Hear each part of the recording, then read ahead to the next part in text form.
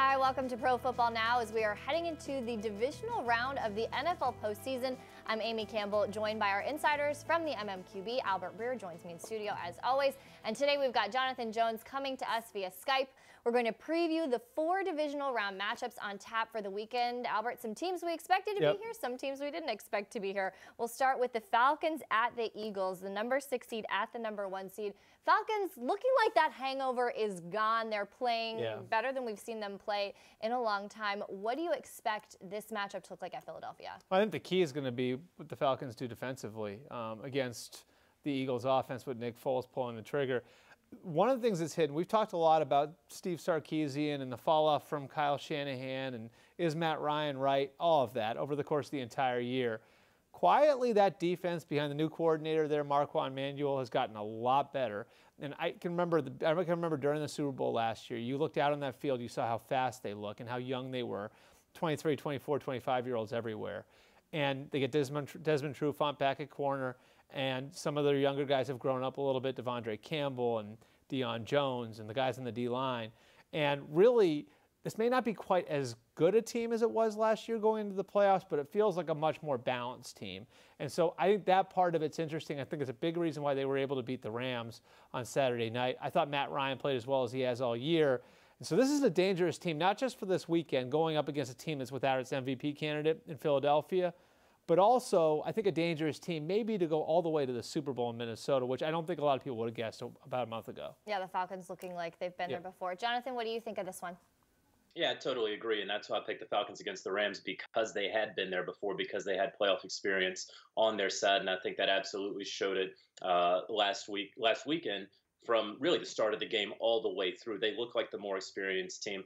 Listen, this happened last year with the Falcons. They're an NFC South team that not a lot of people were paying a lot of attention to. That's a division that, while very good this season, really has not had a lot of attention paid to it nationally, I think. And so people saw the Falcons when they played the Patriots. Uh, on that primetime game, and it looked like Steve Sarkisian had no idea how to call plays, that the Falcons were absolutely done.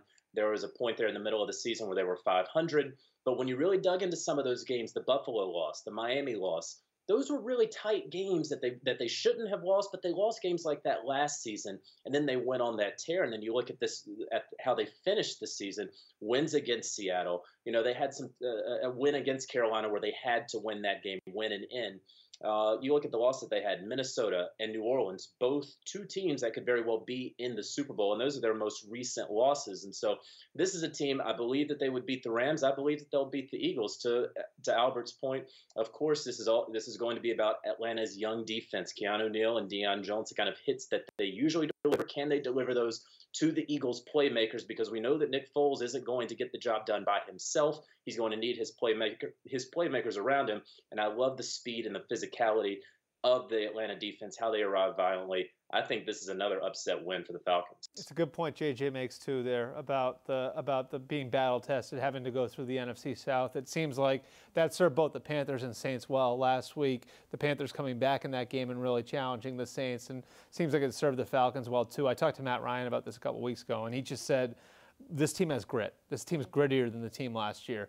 Maybe not as high flying and not as spectacular as the 2016 Falcons, but they've been in some of those tough spots. They've had to fight out of a lot of tough spots over the course of the year, and that seems to be paying off now. The fact that they've had to go through that and kind of pull themselves up, up, up off the canvas a few times it seems like there's been a benefit there. Well, the opening line in Vegas does have the Falcons favored on the road at the number one seed, so that'll be a fun one to watch.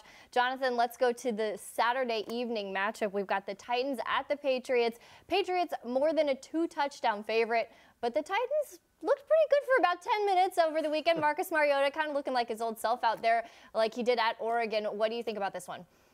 Yeah, I think Vegas probably has this one right. In fact, Vegas may be conservative uh, with this line. You know, this is very similar, I think, to last year's divisional round game uh, that the Patriots had. We we just we've had them really sharpied into the AFC title game for some time, and I know that we have to offer some type of analysis about this game. the Titans the Titans got lucky against the Chiefs. The Chiefs were a better team. Um, you know, they they outsmarted themselves with p- play calling. They've admitted as much in the days since then. Uh, Marcus Mariota completing a pass to Marcus Mariota for a touchdown. You know, it was a it was a fluky win. They need a healthy Demarco Murray. They they need everything to break right. The Tennessee Titans do for them to get the win. Congratulations to them for getting into the playoffs and for getting that win. That's going to go a long way for the franchise, even if maybe it's not the best thing long term for Marcus Mariota when you look at Mike Mularkey's uh, long term um, coaching security.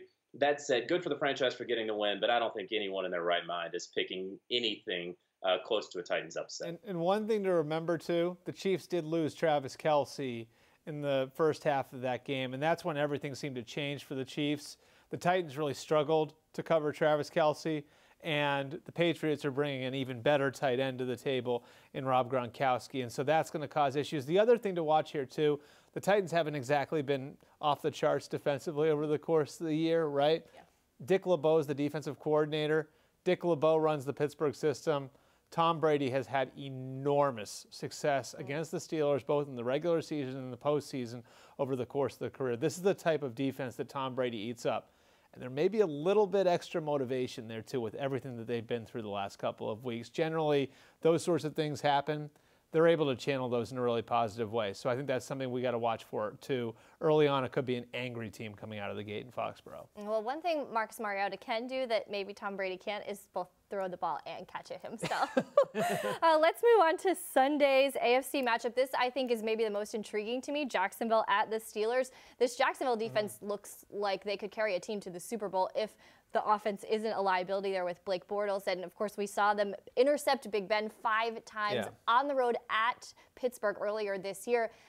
Do you think that Jacksonville could pull the upset here? So much of this is going to boil down to how the Steelers' offensive line plays. And I know the sexy thing is to talk about Antonio Brown's health or how Le'Veon Bell is going to play against um, that defense. I think this really does boil down to their ability to handle all of those guys up front. When Jacksonville's been able to tee off and have these big turnover or big sack performances, it really comes down to all of those guys on the front. And so if the Steelers can control – the Jaguars' defensive front. I don't see the Jaguars being able to score with the Steelers. If the Jaguars can really take the edge early on there, get on top of Big Ben, that's where you can see the, the, the Jaguars starting to force mistakes like they did back in October. Remember, in that game, the Jaguars' defense scored 14 points, which was more than the Steelers' offense scored. I think we might be in another one of these situations where the Jaguars' defense has to outscore the Steelers' offense for them to win because the Jaguars' offense didn't look very good last weekend. Yeah, certainly looking like a liability there. Yeah. Like I said, I wonder though if potentially the Jags are in uh, Big Ben's head. Jonathan, what do you think of this one? You know, I was in Jacksonville this past weekend, talked to a lot of guys. Obviously, that thir- that thirty to nine win at Heinz Field. I think we were all looking at that early in the season, and well, Pittsburgh's always due for one of those every year, and then they make that run, no worries at all this Jaguars defense is absolutely for real. And and as Albert talked about, of course, it starts up front with the guys that they have, the big defensive end and Calais Campbell. Of course, what you have with Malik Jackson, you're able to get some things uh, with Telvin Smith and the and the linebackers. And of course, when you look at that secondary with uh, AJ Bouye, with uh, with Jalen Ramsey, of course, uh, Barry Church back there, Tashaun Gipson. Things have really coalesced back there in the back end for this Jaguars defense, and so uh, listen, they picked him off five times uh, in the last game. I think Albert mentioned all the turnovers. 27 of the 30 points came off of uh, Pittsburgh turnovers. And so I'm in agreement. Uh, of course, the Jaguars defense is going to have to outscore the Patri- or the, the Pittsburgh Steelers offense because Blake Bortles is just not going to get it done. We all know this. It, I think a lot of people are going to try to talk about uh, the early 2000s Ravens and a Trent Dilfer. Blake Bortles is far worse than Trent Dilfer. He is not a very good quarterback. He is not a, a top half quarterback. He just, as long as he doesn't turn the ball over, Jacksonville has a chance. But still, that's a very big ask. Let's go to the night matchup. We've got the Saints at the Vikings. I think these are two of the most complete teams in the NFL, a matchup I'm really excited about. Uh, we've got Drew Brees, the veteran quarterback. He's been here before. Case Keenum, a story we never expected. Jonathan, what do you like about this matchup? I love this matchup. I think it's the best matchup that we're going to see so far in the NFL playoffs. It may be the best one uh, throughout. I think the winner of this is going to win the NFC, uh, and I don't think it's going to be close because this this really has been the best. These have been the best two teams in the in the NFC all season long. When you look at what you have with Alvin Kamara and Mark Ingram, and of course they were bottled up a little bit, at least more so than they were the previous two games against the Panthers. And Minnesota can certainly take from that. I think Minnesota's defense is better uh, than Carolina's. Very interested to see what you have in Case Keenum here in the playoffs. But you know what's kind of in my mind, especially after last night, the move that Nick Saban pulled, pulling uh, the quarterback that got him there for the freshman. Is it possible if Case yeah. Keenum's struggling in a, in a playoff appearance? Listen, you got a healthy Teddy Bridgewater. Uh, Sam Bradford may be able to go. W- would you make that change? Because you know, like we talked about last week, Albert, uh, the Vikings have been yep. blessed to get this quarterback position right three times. I'll tell you what, it takes a little bit of that. I don't give a bleep to to do what Nick Saban did, right? Like you just have to have a little bit of that something to do something like that as a coach. And I think Mike Zimmer does have that little something. So I wouldn't be totally shocked if they really, really struggled early on. The defense was forced to carry the team if you did see Mike Zimmer do something to create a spark. What I love about this Saints team, and we've been talking about it for the last couple of months, this is probably, in my mind at least, the best combination of defense and running game that Drew Brees has had in his 12 years in New Orleans, and that's including the championship team. They've shown they can win even if Brees doesn't have his A game. And that was what was great about the Carolina game last weekend is the defense struggled a little bit against Cam Newton and company. The, as, J, as JJ said, that the run game was shut down. And Drew Brees was nails when they needed him to be. And now, instead of Drew Brees sort of being their whole hand, which is what has been too often in New Orleans, he's just their trump card. Mm. And they were able to pull that trump card last week in a playoff setting. I think that makes them very, very dangerous here. I think that they're a real threat, like JJ said, to get to Minneapolis and win the whole thing. That's that's my pick. I gotta say it. Um, before we get you guys out of here, let's touch on the coaching carousel. Yep. We're seeing now as teams are eliminated, we're seeing coaches uh, going in for interviews and vacancies and all that. Jonathan, I want to get the latest from you on Steve Wilks interviewing with the New York Giants. What are you hearing? Yeah, I believe that interview went well. Of course, he met with Dave Gettleman, a guy that he's very familiar with, having been the general manager here in Carolina throughout Wilk's tenure here in Carolina.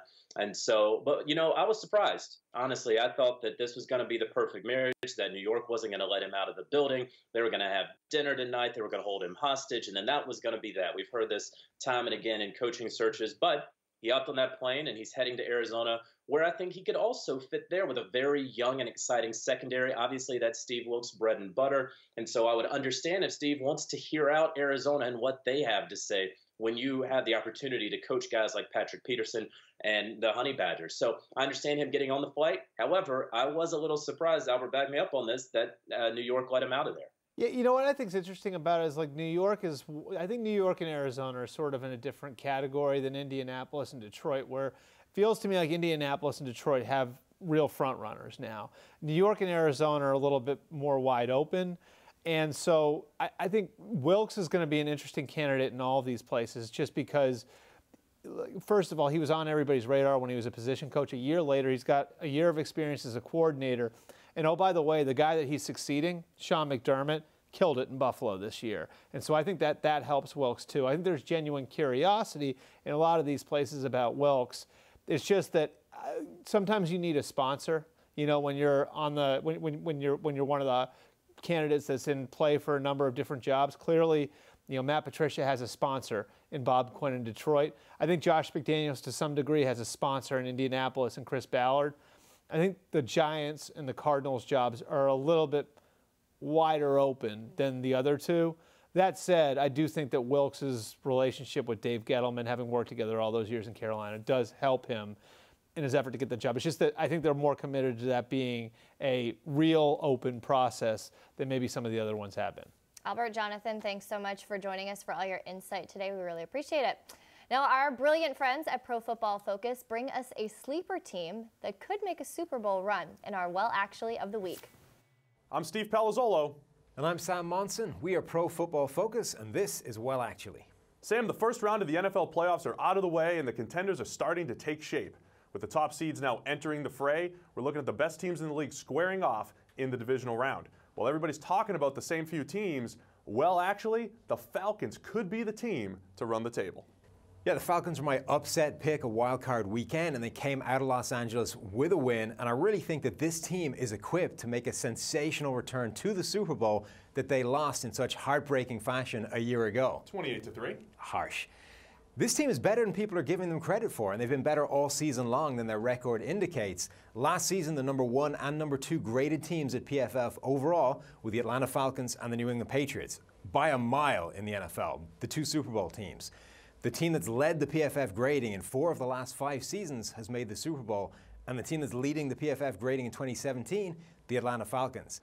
I'm with you, Sam. The numbers really do undersell this Falcons team. Just look at quarterback Matt Ryan. He's tied for number two in our PFF grades, but the box score numbers don't look good. They don't look nearly as good as last year, that's for sure. And it's because he's had terrible interception luck. He actually has the lowest percentage of turnover worthy plays this year. Those are those passes that should be intercepted, the ones that we give the harsh downgrades for quarterbacks. He's been great at taking care of the ball, but he has 12 interceptions because of that terrible luck, whether it's miscommunications, dropped passes, and of course, don't forget the butt pick by Marshon Lattimore of the Saints, a dropped pass that lands on Lattimore's buttocks for an interception.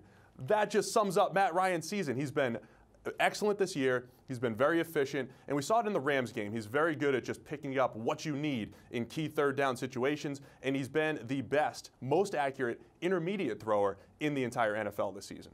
But I think it's the defense that's really begun to take a step forward and propel this team into this postseason run.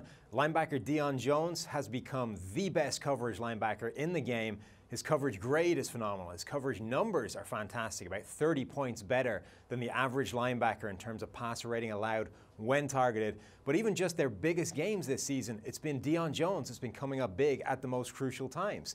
Interception to seal the win against a hard charging New Orleans Saints close coverage on Greg Olsen against the Panthers to prevent any kind of comeback then. And then last week against the Rams, he was the guy in the end zone breaking up a pass intended for Sammy Watkins to kill any hopes the Rams had of that comeback. Deion Jones has become this fantastic player. We talk all the time about matchup problems on offense and guys that will give defenses trouble. Deion Jones is the rare matchup player on defense that will swing the balance back in their favor. Yeah, Jones has been absolutely fantastic. And let's not forget about that defensive line. You know, a year ago, we were talking about Vic Beasley, who led the league in sacks, but they weren't great across the board on that D line. This year, though, they have seven guys that they're rotating in and out who can all get after the quarterback. Adrian Clayborn having a career year as a top 20 edge defender in our grading so far. Grady Jarrett, one of the most disruptive interior defensive lineman. And be, even beyond that, Brooks Reed off the edge, Takkarist McKinley as a rookie coming off the edge. They signed Dontari Poe this offseason. He's doing a good job of pushing the pocket. And of course, they still do have Beasley. So we're talking about a team that is deeper up front, and they're actually pressuring the quarterback at a higher rate this year than they, than they did last year on the Super Bowl run. And that secondary has really begun to hit its full stride. Robert Alford is coming off his best game of the season against the Rams. Desmond Trufant is back there as a true number one corner that we always knew he could be, hitting his best form as well. That coverage really helps them out. That's right. The Falcons are looking good all around. The grades have liked them all season. The record has not always been indicative of how well they've played, but right now, maybe the most dangerous team remaining in the NFC.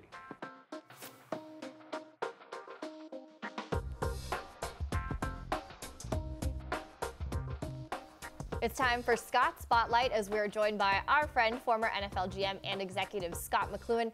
And Scot, we've got four divisional games on tap for the weekend, some potentially great matchups here. Which of these is the must watch game of the week for you? I, I believe New Orleans at Minnesota. You know, you have uh, a first ballot, ballot Hall of Famer in Drew Brees, um, who's had a good year, and the, the offense has played well. And you're going to a hostile environment, Minnesota and their defense has played well all year. You know, I think this is one that's going to be a knockdown, dragout. Um, I would never. I, I, I, played against him many times, Drew Brees. You never count him out. I know it's tough on the road. The divisional, you know, playoffs are always exciting. But I got promise you this: with Coach Zimmer sitting there knowing Drew Brees is coming to town, they're nervous. But it's going to be a heck of a game. What's your prediction? I'm saying I'm going with the first ballot Hall of Famer. I'm going Drew Brees. Close one though, close one. I don't think it's gonna be high scoring whatsoever. I think it's gonna be like I said. When you get to this point in the playoffs, they're they're there for a reason, and they're good teams on both sides of the ball and special teams. But that Drew Brees is something else. He just makes play after play. It's incredible. All right, well, Scot, obviously, while that's going on, the job market's heating up, and I couldn't help but notice you got a nice little shout out there in Green Bay uh, earlier this week. One of your guys, um, Brian Gutekunst, who worked under you in Green Bay is the new Packers general manager. Obviously, that's a coveted job. It's one that doesn't come open very often. So we wanted to ask you what you think Gutekunst brings to the table there. You know what? He's uh, he comes from a football family. His dad was a long time college coach, long time. And I was already there when he came in, and Ron said, "Do me a favor, can you take him under your wing um, and kind of teach him the ropes? You know how we do things here." I'm like, "Yeah, not a problem." Um, he was young. Um, he started from nothing, not like I did, at the bottom, worked his way all the way to the top. Uh, really intelligent guy, a football guy through and through, um, and a, a, dang good person. Um, we we hung out many nights, eating dinner, just just talking football. Because you know, like I said, his father was a long time coach, and he was thinking about getting the coaching. And I said, well, that's fine. You do what you want to do. But he'd ask the, the perfect is about scouting. What's what's you know what? Tell me how, how to do this. You know, tell me what what to look for. Tell me how to write reports. Tell me you know who to talk to. Um, and he, like, like, I said, he's, he's he's done a great job since he's been in the league. You know, again, he's he's, he's climbed the ladder, and he, he deserves it. He deserves a shot at it. Um, I, I feel nervous for him from the standpoint I've been in that situation, being a younger guy and being a first time GM, because a lot of things come at you. But he's been around Mike McCarthy long enough. You know, he's been around, you know, Mark Murphy long enough to kind of understand the dynamics of the building, and he's been in the building the last couple of years. So he'll, he, you know, with me, I just walked in a situation where I didn't know it at all in San Fran, and you got to learn the, the personalities. You got to learn the people that are in the building. You know, he has that already in place. So I'm pulling for him, and I told him I'd help him in any manner I can. If that okay. helps at all. okay, so you you mentioned the dynamics in the building. Those are going to change now while, while Ted was there, obviously there's been a more traditional setup where the head coach reports the GM who reports to the team president, Mark Murphy. And now they're restructuring a little bit where Mike McCarthy, Russ Ball, who's the new VP of football operations, and Gutekunst are all going to report directly to Murphy. That's a significant change structurally. Functionally, how do you think that's going to change who the Packers are? You know what? I think it's I think it's positive. The, the thing about Ted, who's a really really good friend of mine, he was always on the lockdown communication wise. He didn't want to put much information to the president, to the head coach, whatever. Now, he'll talk to you and all that, but he's really secure with his information. And I think what Mark Murphy's looking for now is like a lot of organizations is everybody working together and talking together and figuring things out together. Yeah, again, I, am not taking a shot at Ted whatsoever, but that's just his personality. I've known him 20 some years, and he's just he's just quiet. He doesn't want to let people know what's really going on in his mind. Where now I think with Mark Murphy doing what he's doing, you know, even with McCarthy, you know, been there a long time. You know, Goody been there a long time. You know, it's just communication, and you have to have that. You have to have that with the free agency, with the draft, with the roster during the season, with transactions during the season. You have to be able to talk and just, you know, walk down the hallway and say, hey, you know, Coach McCarthy, I'm thinking about this.